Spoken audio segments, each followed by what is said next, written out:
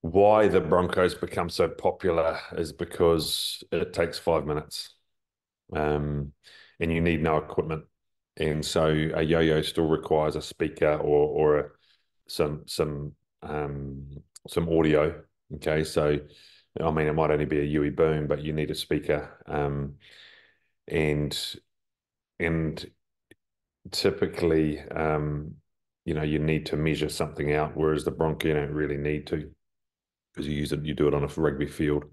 Um, so I think yes, we do use a yo-yo, and we did do some comparisons a, a few years back to show that the yo-yo score is pretty similar or correlates highly to the Bronco. So if you do a good yo-yo, um, no shit, Sherlock, you do a good Bronco. You know, they both show you that your your aerobic and aerobic type fitness is pretty similar. Um, um, I think the the the yo-yo probably gives you a better indication of ability to repeat high high speed um, shuttles or efforts, whereas the Broncos just a grind. Um, so yeah, we have used it in the past. We've stopped using it because it's time consuming and teams, clubs um, tend to not have the time um, to implement. I'll tell you a little. I'll tell you actually a bit of background about all that. Actually, the um, yeah, we used to a long time ago, twenty years ago, we used to do a test called the phosphate decrement test, which was a PDT. Um, it was 10 40 meter sprints, and I think it was a thirty second recovery.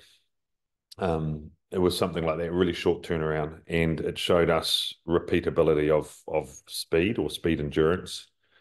Um, we also used to test speed, and we used to test yo-yo, and what we found was that the PDT gave us no more information than the yo-yo and the speed. Okay, so the speed we find you can run fast.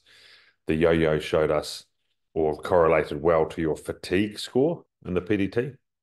So we decided we'd stop doing the PDT because we would we are basically doing more tests to get the same information. So we reduced the ability of um, repeating 10 by 40 meter sprints, which produced a number of injuries as well around the country. Um, so we did that, and we did a similar process with the yo-yo versus Bronco, where we were doing both. So the the All Blacks were being tested, and the the age group teams or or teams in black were being tested on a yo-yo.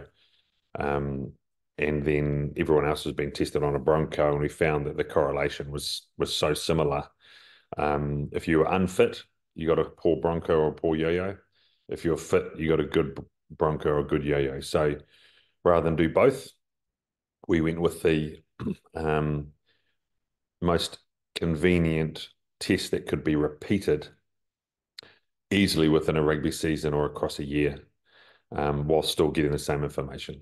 That's awesome. Because to be fair, there's a few people on social media. I won't name names to give them credit, but they've kind of thrown shade at, at using the Bronco and, and and called it out. So that I think was some really great rationale to explain why, maybe reasons they hadn't thought of. Yeah, well, I think I think if you were um, if if you were if you were locked in a lab or you were a scientist, a true scientist with a lab coat on, um, I would be doing the same. It's not a great test for um, to give us like people would call it specificity. Okay. Um, but it's it's you know when you're talking about applied testing in the field specificity is of no value if you can only do it once a year. And i think that's where the broncos um, become so popular is because you can do it so easily within a within a normal rugby training session. Coaches don't mind. It's five minutes. It's not 20 minutes. Um, you know you can do it within a rugby season. It doesn't impact on performance.